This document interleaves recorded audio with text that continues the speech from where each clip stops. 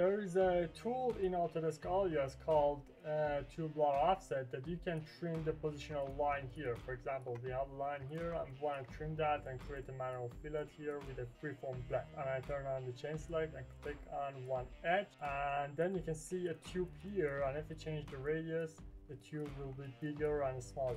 Set it to 5 and then I set the surface to none. The trim type is set to automatic, so it's all okay.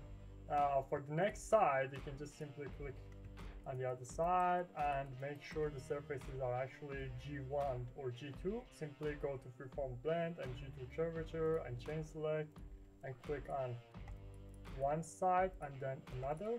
And if you don't like that, well, you actually can change it to, for example, edge line if you want to connect it edge line.